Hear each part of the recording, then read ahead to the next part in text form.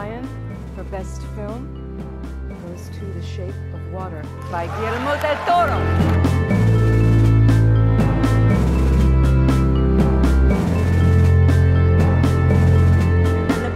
goes to The Shape of Water, Guillermo del Toro.